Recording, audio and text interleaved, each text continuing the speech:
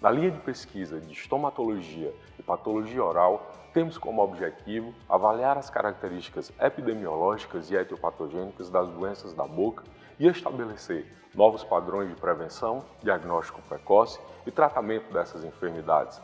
Vamos também analisar as características genéticas e biomoleculares das doenças mais prevalentes da boca, com ênfase no estudo do câncer oral e das lesões potencialmente malignas da boca. A ideia é que novas abordagens de rastreamento de câncer oral e estudo dos efeitos adversos da terapia oncológica permitam novos avanços e a descoberta de novas tecnologias associadas ao cuidado em oncologia.